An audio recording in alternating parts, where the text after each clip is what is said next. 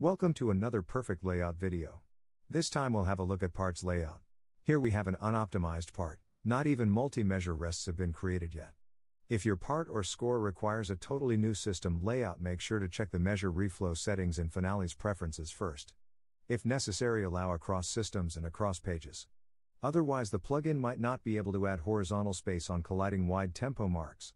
If a part not even has music spacing applied, please also activate Always Apply Music Spacing on the Plugins Optimize tab.